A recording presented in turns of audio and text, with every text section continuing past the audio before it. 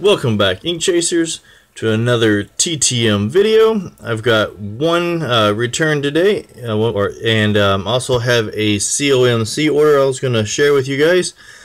Um, we'll start off with the TTM coming one of one in 51 days for my Rangers PC, Bobby Valentine, here on a 1989 Topps.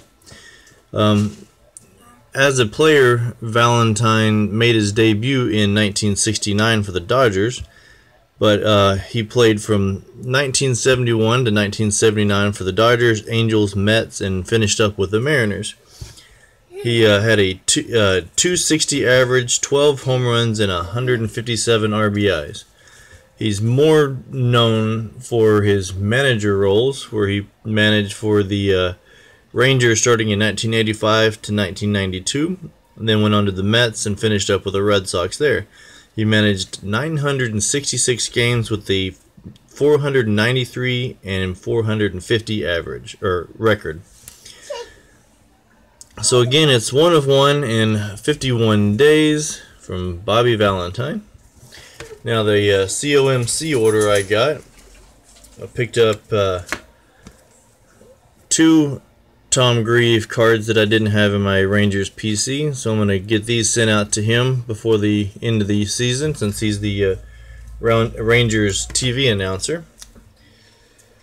I picked up three cards of uh, Leon Roberts, uh, ex-Ranger, so I needed this one for my uh, Rangers PC, but he is a coach for the uh, for Northwest Arkansas. And they play against the Rough Riders, and I should be seeing them coming up after vacation. And then let's see, picked up three Greg Hibbards I needed for my uh, collection. Since he's the pitching coach for the Rough Riders, those will be pretty easy to get. I also picked up some Jason Hart since he's the hitting coach. This one is the uh, traded set. And then these are the only two cards I could find of him as a ranger. So I uh, this was on on COMC. So uh, this one is the I guess the insert 960 of 1500. So I'll be getting those signed at the next game I go to. Picked up 1972 Topps of Dick Bosman. As you know, I got him TTM just uh, last month and so I will be uh, sending this one off along with this one which I saw Mike Baseball Collector getting one of these. Now his is in a better condition than mine. This is just a I think I got this one for like 50 cents. But I know both Steve Busby and Dick Bosman sign TTM real well and Nolan Ryan if I decided to complete it he does sign through his foundation for I think they uh, he raised his prices to $60 a pop, so that will be a maybe. Picked up a uh, Gypsy Queen I didn't have of Matt Moore. Going to try and get that one signed if he sticks around.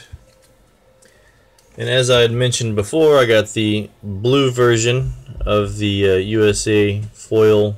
This one's numbered 73 of 299 for, for Jose Trevino. And I picked up this Croman refractor it's numbered 88 of 499 and then I got because of Joel remember the great got a back a success back from Grant Jackson. I needed to pick up this one so I'll send those off TTM and I've been holding off on my TTMs until we get back from vacation mainly just because I don't want a lot of mail and my mailman to just smash everything in the mailbox and destroy it. So I'll be waiting until we get back from that. Now, my last card I got from uh, COMC uh, is this Nick Torres.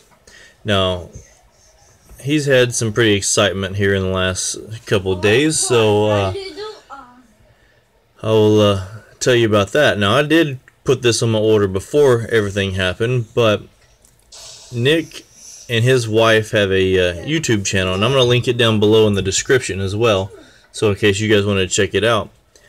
but he was drafted by the Padres, went up up and down through the minors, and then after spring training this year was released.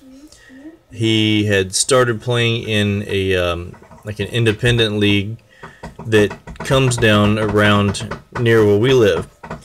So I picked this up to possibly go to one of those games and get it signed. But over the weekend, the uh, Texas Rangers bought out his contract, so now he's in AAA Round Rock. Now, I don't know if he's going to stay there or if he's going to get sent down to Double A because the um, they had a uh, player get suspended for a few games. I think it was a three-game suspension, so he may just be there serving the suspension and then get demoted back down. But you can definitely check out their uh, their channel. It's called I think Baseball Gypsy. It's mainly his wife that does it, but he is in it a lot. So um, let me know what you think about the cards, about Valentine, and uh, as always, like, comment, subscribe, and thanks for watching. Thanks